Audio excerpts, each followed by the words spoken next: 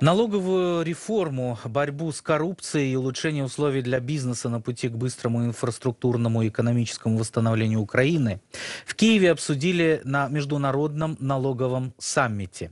На эту встречу приехали представители Всемирного банка, негосударственных экономических организаций Европы и США, участники под патронатом Офиса президента Украины обсудили мировой опыт послевоенного восстановления, уникальную украинскую практику перезагрузку и реформы в налоговой системе страны после победы над агрессором.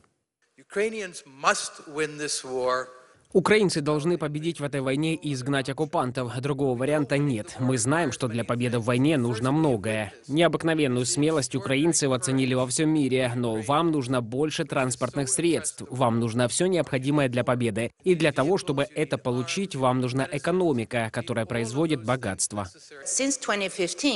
С 2015 года Украина делает первые шаги к реформированию всей системы.